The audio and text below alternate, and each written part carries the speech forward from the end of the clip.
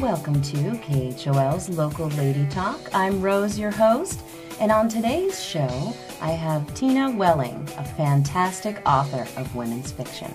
Well, tell us more about how you became an author and I just began writing. I wrote and wrote and wrote. I was a young mother. I had a business here in the valley, and I just wrote in all of my spare moments until um, until I perfected some sort of uh, skill and comfort level with language. I just loved stories. What I read the most were novels. So um, after writing short stories uh, small essays, different uh, smaller projects.